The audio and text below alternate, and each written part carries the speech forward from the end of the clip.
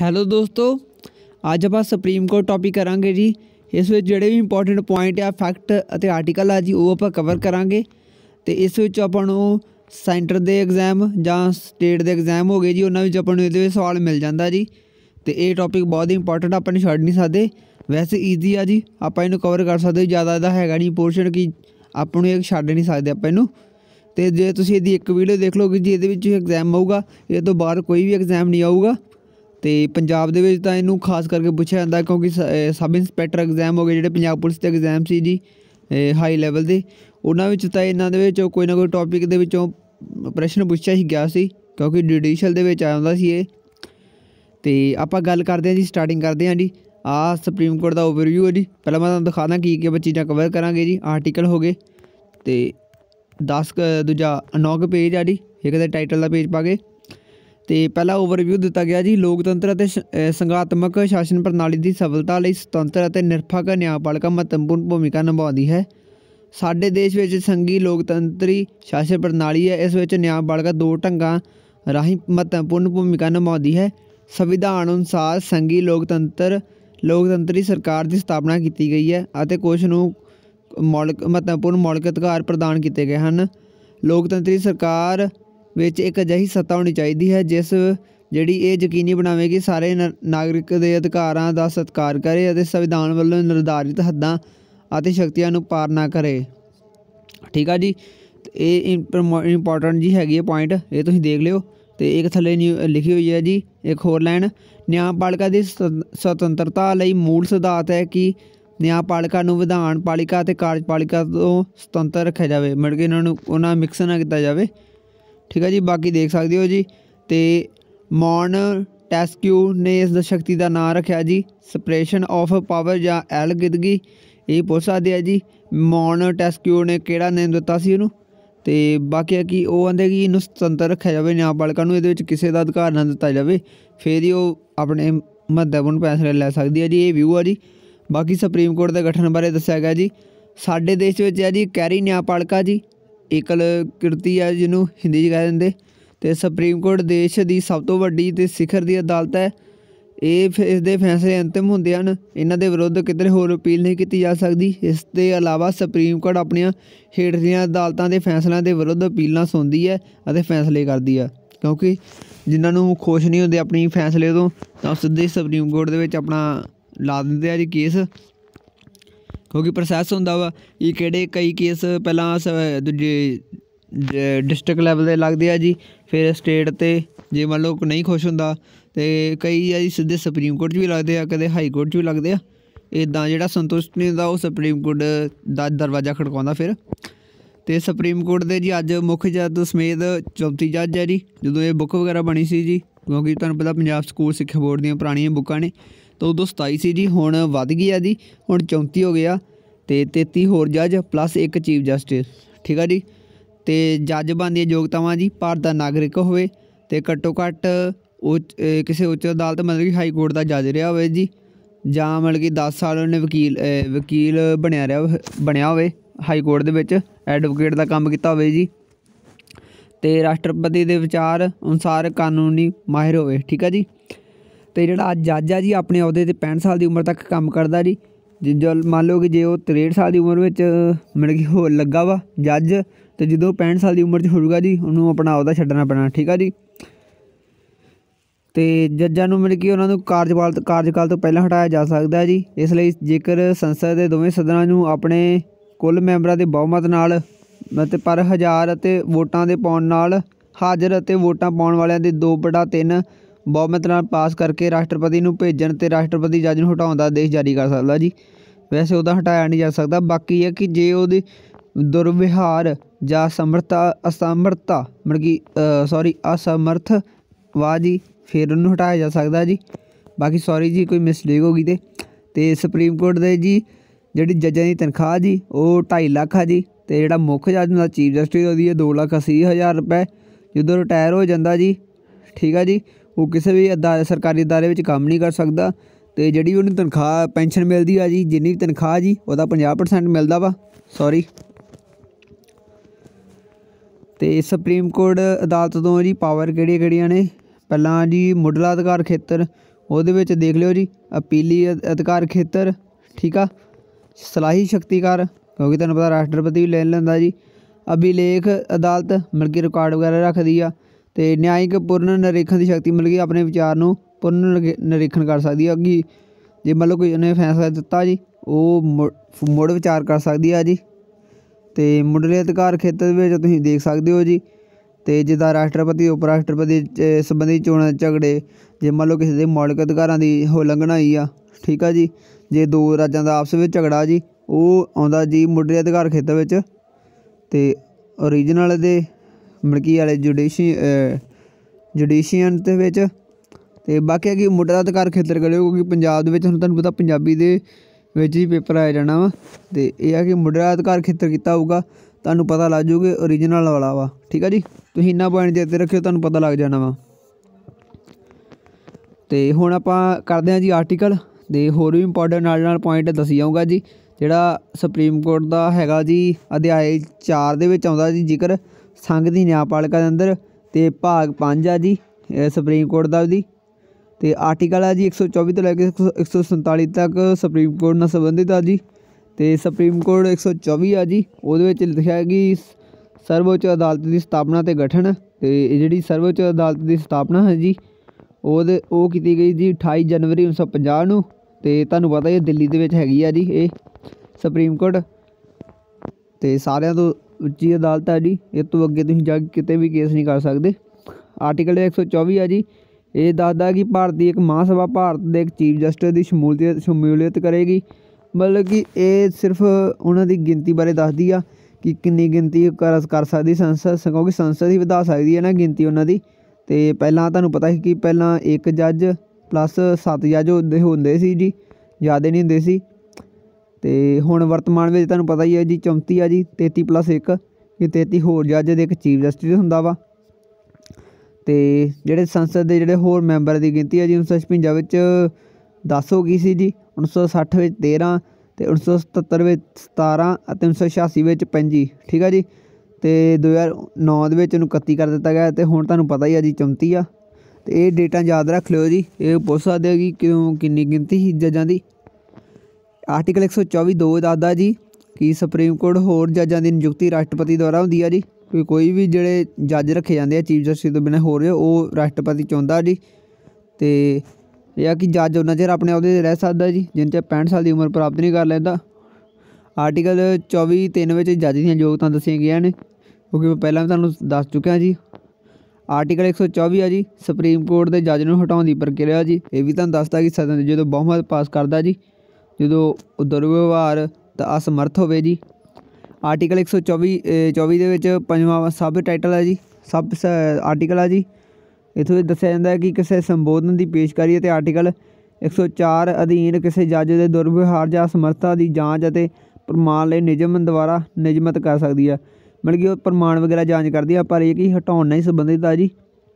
ਵੈਸੇ 104 ਦੇ ਪੁੱਛ ਸਕਦੇ ਆ ਜੀ 100 124 4 ਆਰਟੀਕਲ ਜਿਹੜਾ ਹੈਗਾ ਵਾ। ਜਾਂ ਡੀ ਵੀ ਪੁੱਛ ਸਕਦੇ ਏ ਬੀ ਸੀ ਡੀ ਵੀ ਕਰਕੇ ਪੁੱਛ ਸਕਦੇ ਆ ਜੀ। ਉਹਨੂੰ ਇੱਕ ਨੰਬਰ ਦੇ ਅਕੋਰਡਿੰਗ ਤੁਸੀਂ ਵੇਖ ਸਕਦੇ ਹੋ ਜੀ ਉਹਨੂੰ। ਆਰਟੀਕਲ ਜਿਹੜਾ 124 6 ਆ ਜੀ। ਤੇ ਸੁਪਰੀਮ ਕੋਰਟ ਦੇ ਜੱਜ ਦੀ ਸਹੁੰ ਰਾਸ਼ਟਰਪਤੀ ਸਾਹਮਣੇ ਹੁੰਦੀ ਆ ਜੀ। ਰਾਸ਼ਟਰਪਤੀ ਸਹੁੰ ਬਾਰੇ ਦੱਸਿਆ ਜੀ। ਉਹਦੇ ਜੇ ਜੱਜ ਦੀ ਸਹੁੰ ਬਾਰੇ ਦੱਸਿਆ ਕਿ ਕਿਹਦੇ ਸਾਹਮਣੇ ਚੁੱਕਦਾ ਵਾ, ਤਾਂ ਉਹ ਰਾਸ਼ਟਰਪਤੀ ਦੇ ਸਾਹਮਣੇ ਚੁੱਕਦਾ ਜੀ। ਤੇ ਭਾਰਤ ਦੇ ਸੰਵਿਧਾਨ ਨੇ ਸੁਪਰੀਮ ਕੋਰਟ ਅਤੇ ਇਸ ਦੇ ਹੇਠਾਂ ਉੱਚ ਅਦਾਲਤ ਦੇ ਨਾਲ ਏਕੀਕ੍ਰਿਤ ਨਿਆਂ ਪ੍ਰਣਾਲੀ ਸਥਾਪਿਤ ਕੀਤੀ ਆ ਜੀ। ਤੇ ਇਹ ਤੁਸੀਂ ਜਿੱਤ ਰੱਖਣਾ ਕਿਹੜੀ ਪ੍ਰਣਾਲੀ ਹੈ ਏਕੀਕ੍ਰਿਤ ਨਿਆਂ ਪ੍ਰਣਾਲੀ? ਤੇ ਇੱਕ ਉੱਚ ਅਦਾਲਤ ਅਧੀਨ ਅਧੀਨ ਅਦਾਲਤਾਂ, ਮਤਲਬ ਕਿ ਜਿਹੜਾ ਜ਼ਿਲ੍ਹਾ ਅਦਾਲਤਾਂ ਤੇ ਹੋਰ ਹੇਠਲੀਆਂ ਅਦਾਲਤਾਂ ਦਾ ਇੱਕ ਲੜੀ ਹੈ ਜੀ। ਤੇ ਜਿੱਦਾਂ ਮਤਲਬ ਨਿੱਕੀ ਛੋਟੀ ਅਦਾਲਤ ਉਹ ਤੋਂ ਜ਼ਿਲ੍ਹਾ ਅਦਾ- ਦੂਜੀ ਜ਼ਿਲ੍ਹਾ ਅਦਾਲਤ ਹੋ ਗਈ, ਸਟੇਟ ਅਦਾਲਤ ਹੋ ਗਈ, ਮਤਲਬ ਕਿ ਜਿਹਨੂੰ ਆਪਾਂ ਹਾਈ ਕੋਰਟ ਦੂਜਾ ਹਾਈ ਕੋਰਟ ਕਹਿੰਦੇ ਆ ਜੀ। ਫਿਰ ਮਤਲਬ ਕਿ ਰਾਜ ਦੀ ਸਾਰਿਆਂ ਦੀ ਹੁੰਦੀ ਆ, ਸੁਪਰੀਮ ਕੋਰਟ। ਇੱਕ ਲੜੀ ਆ ਜੀ। ਤੇ ਉਦਘਾਟਨ ਮੈਂ ਤੁਹਾਨੂੰ ਦੱਸਿਆ ਹੈ ਕਦੋਂ ਬਣੀ ਸੀ ਜੀ 28 ਜਨਵਰੀ 1950 ਨੂੰ, ਤੇ ਆਰਟੀਕਲ 125 ਆ ਜੀ, ਇਹ ਸੁਪਰੀਮ ਕੋਰਟ ਦੇ ਜੱਜਾਂ ਦੀ ਤਨਖਾਹ ਤੇ ਭੱਤੇ ਬਾਰੇ ਦਾ ਗੱਲ ਕਰਦਾ ਜੀ, ਤੇ ਸੰਚਿਤ ਵਿਧੀ ਰਾਹੀਂ ਇਹਨਾਂ ਨੂੰ ਤਨਖਾਹ ਦੇ ਭੱਤੇ ਮਿਲਦੇ ਆ, ਆਰਟੀਕਲ 126 ਆ ਜੀ, ਇਹ ਚੀਫ ਜਸਟਿਸ ਨਾ ਹੋਣ ਤੇ ਅਹੁਦਾ ਖਾਲੀ ਹੋਣ ਤੇ ਉਸ ਦੇ ਕੰਮ ਕਰਾਉਣ ਲਈ ਹੋਰ ਜੱਜਾਂ ਹੋਰ ਜੱਜਾਂ ਚੋਂ ਰਾਸ਼ਟਰਪਤੀ ਚੀਫ ਜਸਟਿਸ ਦੀ ਚੋਣ ਕਰਦਾ ਜੀ, ਕਿਉਂਕਿ ਜੇ ਮੰਨ ਲਓ ਦੀ ਡੈਥ ਹੁੰਦੀ ਆ ਜਾਂ ਹੈਗਾ ਨਹੀਂ ਆਪਣੇ ਅਹੁਦੇ ਤੇ, ਤਾਂ ਕੰਮ ਕਰਾਉਣਾ ਤਾਂ ਤੇ ਰਾਸ਼ਟਰਪਤੀ ਆ ਜੀ, ਉਹ ਫਿਰ ਹੋਰ ਜੱਜ ਨੂੰ ਚੀਫ ਜਸਟਿਸ ਬਣਾ ਦਿੰਦਾ ਜੀ ਉਨਚਰ ਤੇ ਜਿਹੜਾ ਜੀ ਆਰਟੀਕਲ 127 ਆ ਜੀ, ਉਹ ਜੀ ਅਨੁਪਚਾਰਕ ਤਦਲਥ ਜੱਜਾਂ ਦੀ ਨਿਯੁਕਤੀ। ਮਤਲਬ ਕਿ ਜੇ ਕੋਈ ਪੈਨਲ ਜਟਾਂ, ਜੱਜਾਂ ਦਾ ਘਟਿਆ ਜੀ, ਤੇ ਉਹ ਹਾਈ ਕੋਰਟ ਦੇ ਜੱਜ ਫਿਰ ਨਿਯੁਕਤ ਕਰ ਸਕਦਾ ਜੀ ਇਸ ਵਿੱਚ। ਤੇ 127 ਜਿਹੜਾ 2 ਆ ਜੀ, ਉਹਦੇ ਵਿੱਚ ਦੱਸਿਆ ਕਿ ਹਾਈ ਕੋਰਟ ਨੂੰ, ਹਾਈ ਕੋਰਟ ਦਾ ਜਿਹੜਾ ਜੱਜ ਹੈ ਜੀ, ਉਹਨੂੰ ਸਾਰੀਆਂ ਬੈਠਕਾਂ ਵਿੱਚ ਸ਼ਾਮਲ ਹੋਣਾ ਪਵੇਗਾ ਜੀ। ਤੇ ਉਹਨੂੰ ਸਾਰੇ ਜਿਹੜੇ ਅਧਿਕਾਰ ਹੁੰਦਾ ਜੀ ਸੁਪਰੀਮ ਕੋਰਟ ਜੱਜ ਵਾਲੇ ਹੁੰਦੇ ਆ। ਜਿਹੜਾ ਕਿ ਆਪਾਂ ਤਦਰਥ ਰੱਖਦੇ ਆ ਜੱਜ ਕਿ ਕੁਝ ਟਾਈਮ ਲਈ ਕਿ ਉਹ ਪੈਨਲ ਪੂਰਾ ਹੋ ਜਾਵੇ। ਤੇ ਜਿਹੜਾ ਜੀ ਆਰਟੀਕਲ 128 ਆ ਜੀ, ਸੇਵਾ ਮੁਕਤ ਜੱਜ ਨੂੰ ਦੁਬਾਰਾ ਮਿਲ ਕੇ ਆਪਾਂ ਨਿਯੁਕਤ ਕਰ ਸਕਦੇ ਹਾਂ। ਮੰਨ ਕਿ ਕੋਈ ਜੱਜ ਹੈ ਜੋ ਮਤਲਬ ਕਿ ਰਿਟਾਇਰਮੈਂਟ ਦੇ ਗਿਆ ਜੀ ਆਪਣੀ, ਠੀਕ ਆ? ਤਾਂ ਉਹਨੂੰ ਆਪਾਂ ਦੁਬਾਰਾ ਰਾਸ਼ਟਰਪਤੀ ਨੂੰ ਮਤਲਬ ਕਿ ਨਿਯੁਕਤ ਕਰ ਸਕਦਾ ਜੇ ਮਤਲਬ ਕਿ ਲੋੜ ਆ ਕਿਸੇ ਕੰਮ ਲਈ। ਤੁਹਾਨੂੰ ਵੀ ਦੱਸਾਂ ਕਿ ਜਿਹੜਾ ਸੇਵਾ ਮੁਕਤ ਜੱਜ ਹੁੰਦਾ ਜੀ, ਇਹਨਾਂ ਤੋਂ ਬਹੁਤ ਸਾਰੇ ਕੰਮ ਕਰਾਏ ਜਾਂਦੇ ਆ। ਕਿ ਕਈ ਜਿਹੜੇ ਕੰਮ ਹੁੰਦੇ ਆ ਜੀ, ਜਿੱਦਾਂ ਮਤਲਬ ਹੁਣ ਪੰਜਾਬ ਦੇ ਵਿੱਚ ਵੀ ਕਈ ਚੀਜ਼ਾਂ ਹੈਗੀਆਂ, ਉਹਨਾਂ ਦੀ ਬੈਠਕਾਂ ਹੁੰਦੀਆਂ ਜੀ, ਉਹ ਕਹਿੰਦੇ ਨਾ ਜਾਂਚ ਵਗੈਰਾ ਕਰਾਈ ਜਾਵੇ ਕਿ ਸੁਪਰੀਮ ਕੋਰਟ ਦੇ ਸੇਵਾ ਮੁਕਤ ਜੱਜ ਜੱਜ ਤੋਂ। ਤਾਂ ਜਿਹੜੇ ਜੱਜ ਆ ਜੀ, ਇਹ ਕਰਦੇ ਆ ਜੀ ਕੰਮ ਇਦਾਂ ਦੇ, ਕਿਉਂਕਿ ਇਹਨਾਂ ਤੋਂ ਕੰਮ ਕਰਾਇਆ ਜਾਂਦਾ, ਕਿਉਂਕਿ ਇਹਨਾਂ ਨੂੰ ਹੋਰ ਕਿ ਸਰਕਾਰੀ ਅਦਾਰੇ ਵਿੱਚ ਕੰਮ ਨਹੀਂ ਕਰਨ ਦਿੱਤਾ ਜਾਂਦਾ। ਤੇ ਸੁਪਰੀਮ ਕੋਰਟ ਇਹਨਾਂ ਨੂੰ ਹੁਕਮ ਦਿੰਦੀ ਹੈ ਜੀ, ਆਹ ਕੰਮ ਜਾਂਚ ਕਰੋ, ਆਹ ਕਰੋ, ਤੇ ਇਹਨਾਂ ਨੂੰ ਕਰਨਾ ਪੈਂਦਾ ਜੀ, ਠੀਕ ਆ ਜੀ? ਤੇ ਆਰਟੀਕਲ 129 ਆ ਜੀ ਸੁਪਰੀਮ ਕੋਰਟ ਰਿਕਾਰਡ ਦੀ ਇੱਕ ਅਦਾਲਤ ਹੋਵੇਗੀ ਜੀ। ਰਿਕਾਰਡ ਸੁਪਰੀਮ ਕੋਰਟ ਦੇ ਇਸ ਆਰਟੀਕਲ ਨਾਲ ਸੰਬੰਧਿਤ ਆ ਜੀ। ਤੇ ਤੁਹਾਨੂੰ ਪਤਾ ਹੈ, ਸਬ ਇੰਸਪੈਕਟਰ ਦੇ ਇੰਟੈਲੀਜੈਂਸ ਅਸਿਸਟੈਂਟ ਦੇ ਵਿੱਚ ਵੀ ਪੁੱਛੇ ਗਏ ਸੀ ਜੇ ਸਵਾਲ। ਤੇ ਐਸਐਸਸੀ ਤੇ ਰੇਲਵੇ 'ਚ ਵੀ ਬਹੁਤ ਵਾਰ ਰਿਪੀਟ ਹੋਇਆ ਕਿ ਸੁਪਰੀਮ ਕੋਰਟ ਦੇ ਰਿਕਾਰਡ ਵਾਲਾ ਅਦਾਲਤ ਦੂਜਾ ਆਰਟੀਕਲ ਕਿਹੜਾ ਜੀ 129 ਆ ਜੀ। ਆਰਟੀਕਲ 130 ਆ ਜੀ ਸੁਪਰੀਮ ਕੋਰਟ ਦਿੱਲੀ ਜਾਂ ਹੋ ਜਾਈ ਹੋਰ ਥਾਵਾਂ ਤੇ ਬੈਠੇਗੀ, ਜਿਵੇਂ ਕਿ ਚੀਫ ਜਸਟਿਸ ਸਮੇਂ-ਸਮੇਂ ਤੇ ਰਾਸ਼ਟਰਪਤੀ ਦੀ ਮਨਜ਼ੂਰੀ ਨਾਲ ਨਿਯੁਕਤ ਕਰ ਸਕਦਾ ਹੈ।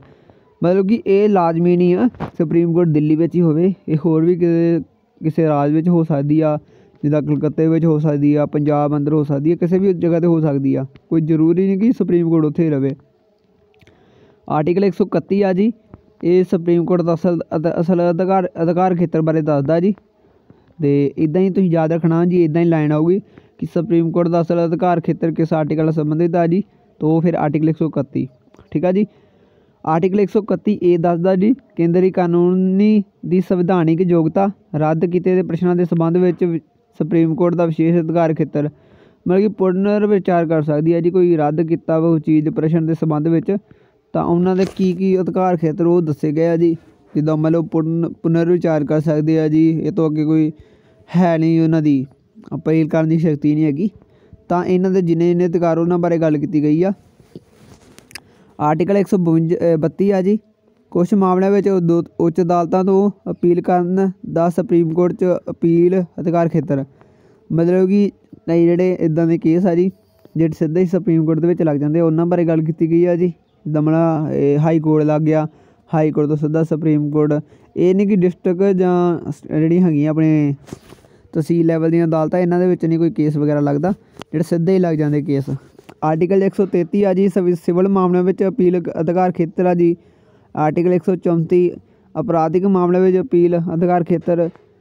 ਤੇ ਇਦਾਂ ਹੀ ਤੁਸੀਂ ਯਾਦ ਰੱਖਣੇ ਆ, ਜ਼ਿਆਦਾ ਜ਼ਰੂਰੀ ਨਹੀਂ ਹੈ, ਕਿਉਂਕਿ ਜਿਹੜੇ ਜ਼ਰੂਰੀ ਆ, ਮੈਂ ਤੁਹਾਨੂੰ ਦੱਸੀ ਜਾਣਾ ਨਾ ਉਦਾਂ ਹੀ ਜਿਹੜੇ ਵਿਸਤਾਰ ਸਹਿਤ।